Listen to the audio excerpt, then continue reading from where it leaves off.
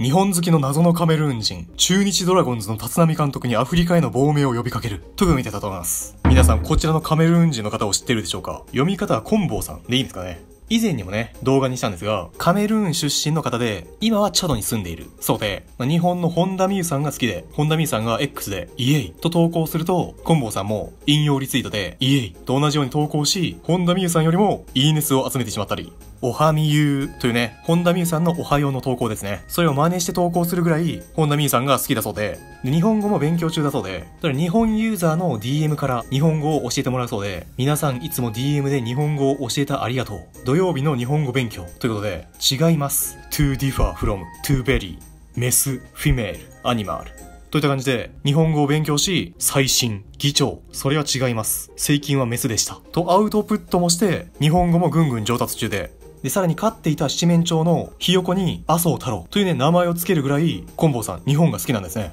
まあ、ちなみに麻生太郎は全員で死んでしまったそうなんですが、麻生太郎復活プロジェクトという村で七面鳥を飼うというプロジェクトをやって、日本からのね、支援者も結構いるみたいなんですが、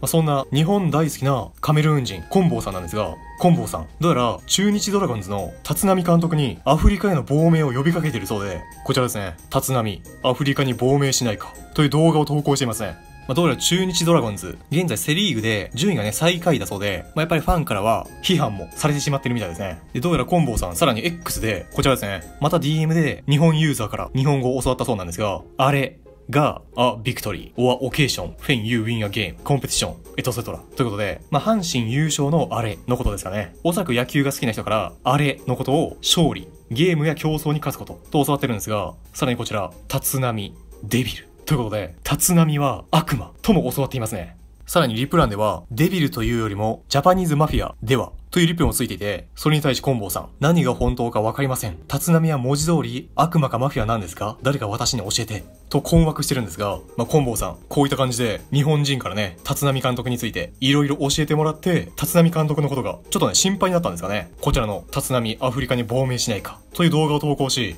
いや立浪、日本ではあなたの命は安全じゃない。アフリカに来てくださいと呼びかけていますね。まあ、どうやら立浪監督、日本にいると殺されてしまうそうで、早く逃げてきてください。待っています。本当に殺されますよ。と言っていて、さらにこちら、アフリカにはマフィアの麻薬がたくさんありますよ。あなたはマフィアの薬物を必ず好きになります。立浪あなたは必ず喜びますよ。と、立浪監督のことは、マフィアとね、思ってるみたいですね。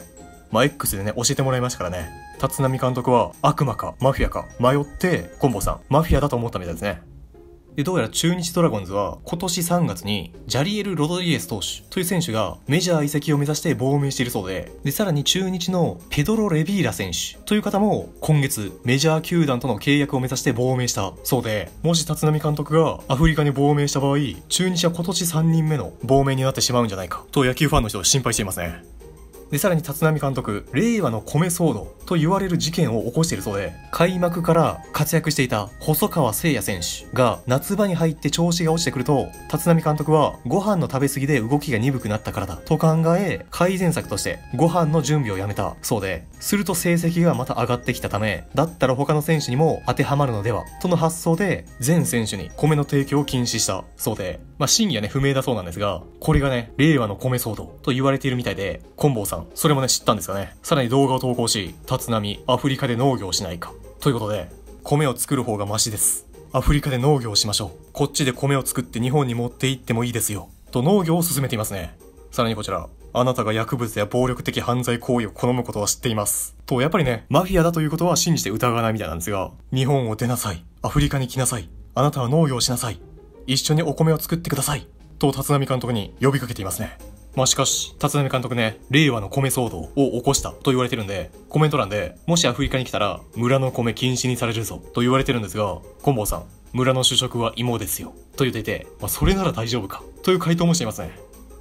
といった感じで、日本が好きなカメルーン人、コンボさんが中日ドラゴンズの立浪監督に対し、アフリカに亡命しないか、とね、呼びかけているんですが、もうそれぐらい立浪監督のことを、コンボさん、心配してくれているんですね。もう立浪監督も試合ねまだ何試合か残ってるみたいなんですが、身に危険をね感じたら殺される前にね、アフリカに逃げてほしいですね。もう外国語は正確にね、学びましょう。以上です。